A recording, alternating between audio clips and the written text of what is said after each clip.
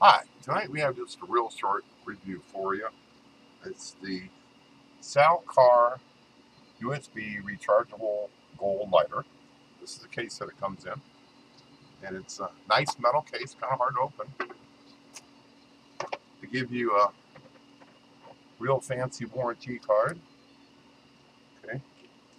And the lighter comes inside this little, um, you know, foam bag which is inside of this nice felt pouch.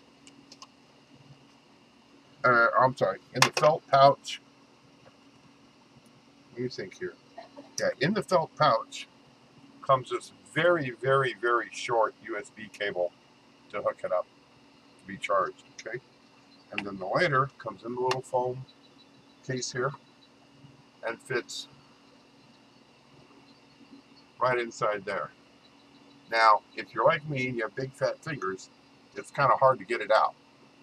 You see here, it's pretty hard to get it out. It's very snug. Okay. But once you get it out,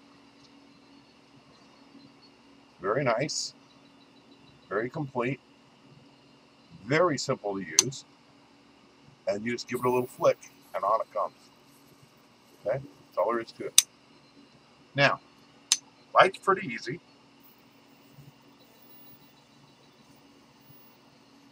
The trick is when you're lighting, is when you put your cigarette up there, you want to get that kind of glowing spark thing. If you stick the cigarette in these electrodes right here, it'll put it out. So you just want to be right in front of it. Okay? Um, sometimes when you go to flick it, your thumb will flip up and it'll pop on. Okay? Doesn't, doesn't take much to get it to go. Okay?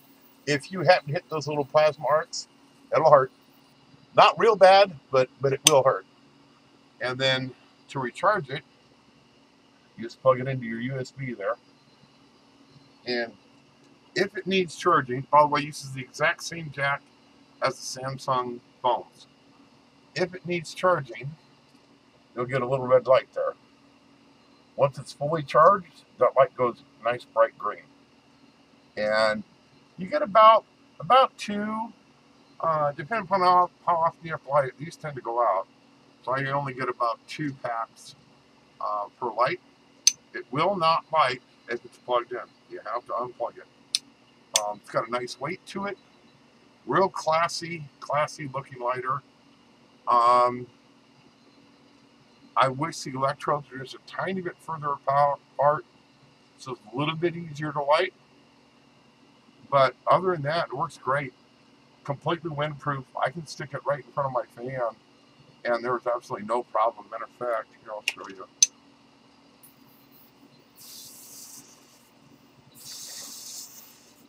You see, it doesn't it doesn't fizz at all. Okay, and it goes out, just another little flick Okay. Yeah, don't don't flip your thumb in there when you do that. Uh, I've done it a couple of times and it hurts. Not real bad, but it's enough to make you wish you hadn't done it. So, yep, love it. Very, very nice lighter.